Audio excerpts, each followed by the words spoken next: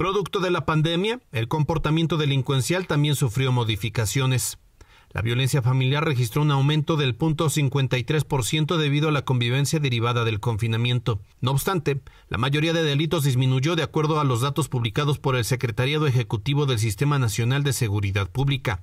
La entidad ocupó el lugar número 21 con una tasa de 962.79 delitos por cada 100.000 habitantes, lo que se traduce en seis lugares por debajo de la media nacional en este rubro. Delitos considerados de alto impacto como roba transportista y secuestro disminuyeron en 54.58 y 61.43% respectivamente.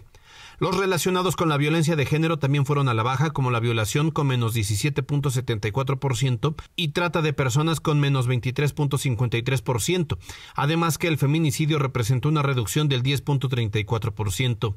Otros delitos en los que hubo una importante reducción de la incidencia delictiva son los relacionados con el ataque al patrimonio, desde el robo a transporte, que disminuyó 41.16%, el robo de autopartes con menos 40.86% y la extorsión con el 24.48%. Por otra parte, el homicidio representó una disminución del 21.30%.